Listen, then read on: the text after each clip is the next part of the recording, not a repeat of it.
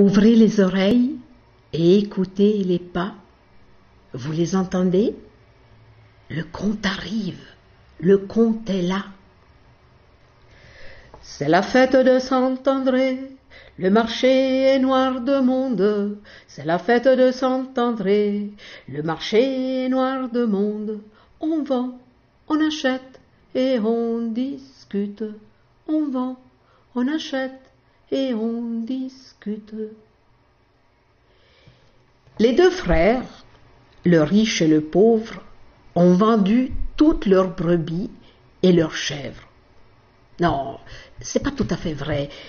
Il reste une petite brebis. Elle est vraiment toute petite, hein, et toute maigre. Le frère riche compte les billets et les pièces de monnaie. Il garde pour lui des billets et donne à son frère quatre pièces de monnaie. Le frère pauvre, qui avait six enfants et une femme en charge, prend son courage à deux mains et demande à son frère la petite brebis pas vendue. Quoi? dit le frère riche. Je te donne du travail, de l'argent, et voilà que maintenant tu veux ma plus belle brebis, la plus grosse. Tu es un frère ingrat, un frère égoïste. Mais le frère pauvre insiste. Il sait bien que demander à son frère son dû, c'est un peu comme euh, sécher la mer avec une éponge. Mais il insiste, il insiste. Et alors le frère riche, excédé, lui dit Prendi la pecora e vai al diavolo. Prends la belle brebis et va au diable. Le frère pauvre le remercie, prend la petite brebis dans ses bras et décide d'aller voir le diable. Et il marche, et marche aujourd'hui, et marche demain, c'est en marchant que l'on fait du chemin. Il arrive devant la porte de la maison du diable. Il frappe. La diablesse lui ouvre la porte. Elle a des yeux de chat. Elle est tout habillée en rouge. Elle le fait rentrer dans la cuisine. La cuisine, elle a les murs tout noirs. Là, il y a une longue, longue table. À l'autre extrémité est assis le diable. Bien, bien assis, avec ses cornes rouges et sa grosse et longue barbe rouge, sa grosse bouche. Et tout autour de la table, des dizaines et des dizaines de diablotins qui se chamaillaient le diable pousse un gros rugissement. Ah, arrêtez Et le calme revient. Qui es-tu? dit le diable. Pourquoi Pourquoi tu es venu chez moi? Je voulais t'offrir, dit le frère, cette petite brebis à toi, à ta femme et à tes enfants. Le diable est très surpris.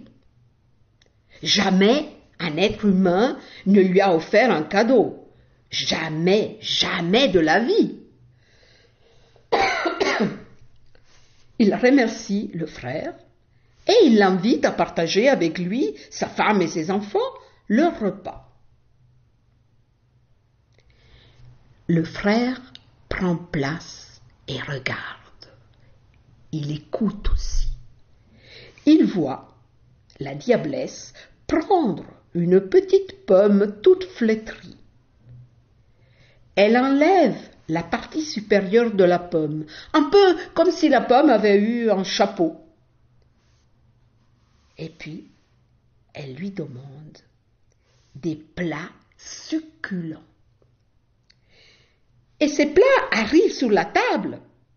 Bon, ils sont tout de suite vidés. Hein. En un tour de main, il n'y a plus rien.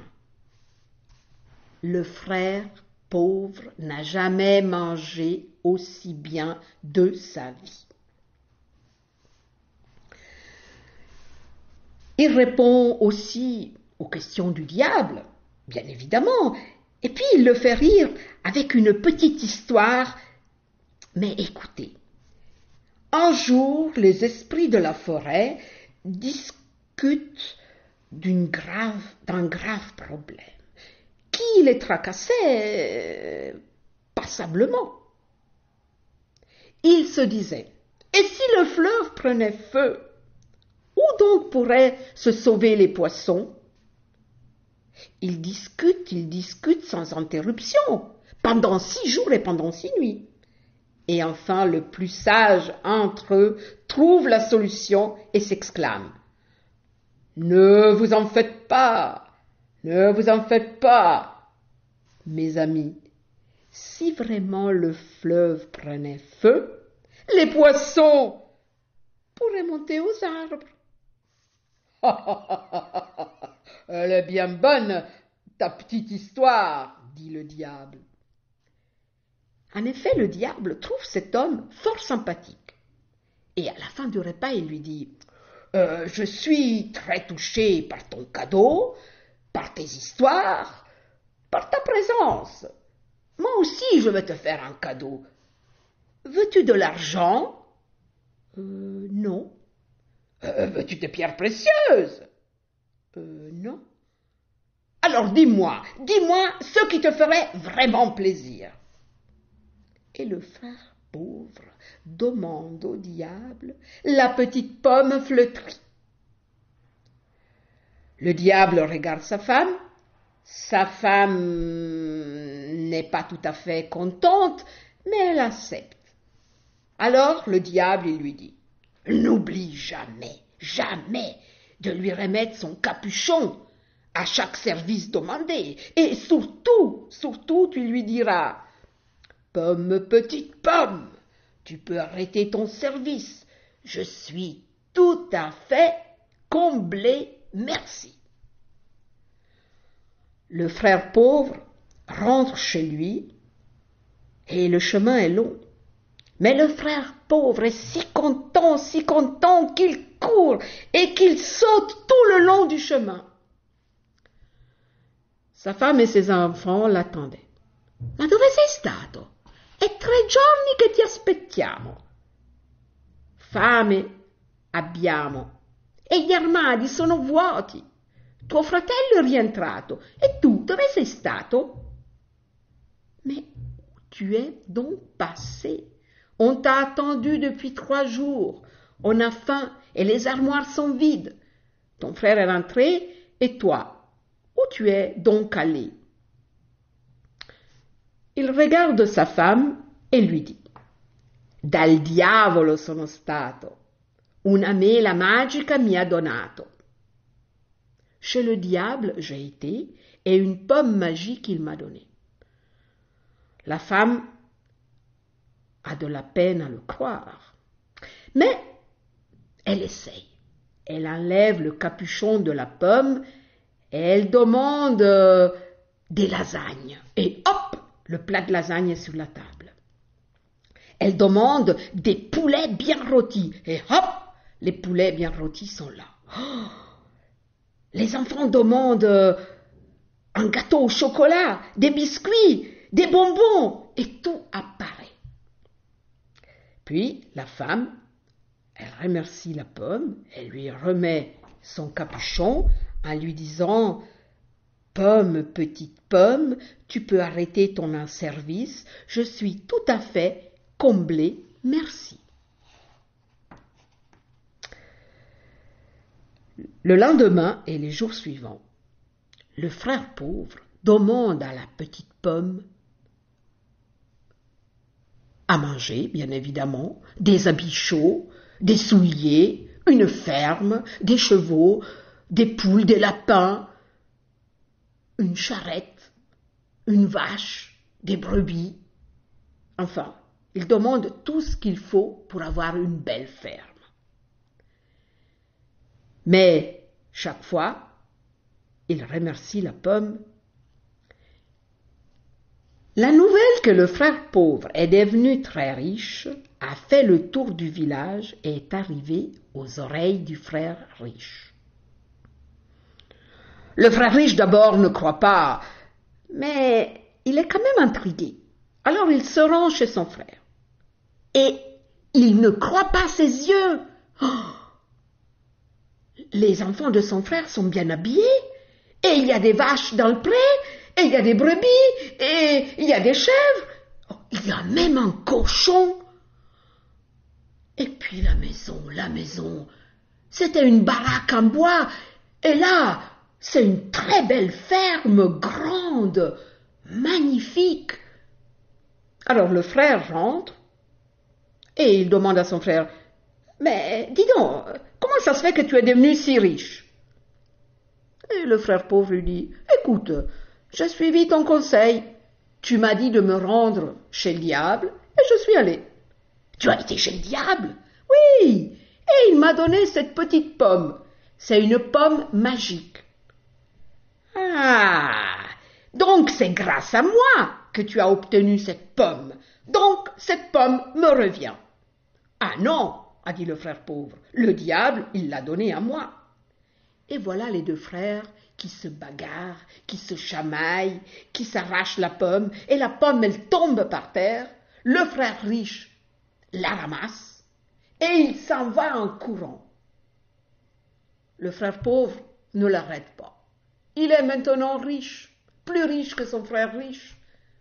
Alors il le laisse partir. Et le frère riche, lui, il arrive au port, il grimpe en courant sur un bateau qui allait prendre le large, et il s'en va. Oh, il est tout content avec sa petite pomme dans les mains. Le soir, à table, on lui sert un bon repas. Mais le repas est insipide. Il manque de sel. Alors il appelle le capitaine et, lui dit Mais ce repas pourrait être très bon, mais il manque de sel. Il est très insipide. Oui, vous avez bien raison, a dit le capitaine. Nous avons oublié le sel au port. Ah. Je peux vous aider, a dit le frère riche. Et il est parti dans sa cabine. Là, il a pris la pomme, il a enlevé le capuchon et il lui a dit Donne-moi du sel. Puis il a pris une coupe, il a rempli la coupe de sel et il est parti en courant vers sa table. Il a invité le capitaine et tous les matelots à sa table et alors on a bu et on a mangé et on a bu et on a chanté, et on a mangé, et on a bu, et on a bu, et on a tellement bu que tout le monde s'est endormi. Et pendant ce temps, la petite pomme, elle, elle a continué à donner du sel. Personne pour l'arrêter. Le bateau s'est enfoncé dans la mer et c'est depuis ce temps-là que la mer était salée. Et malgré la pluie, les rivières d'eau douce qui se jettent dans, ses flots, la mer reste salée. Et vous savez pourquoi? C'est parce que personne n'a jamais retrouvé la petite pomme flétrie, et surtout, il n'a jamais remis le capuchon en la remerciant tout en lui disant, en lui disant Petite pomme, tu peux arrêter ton service. Je suis tout à fait comblé, merci. Et cric et crac, mon histoire est dans le sac.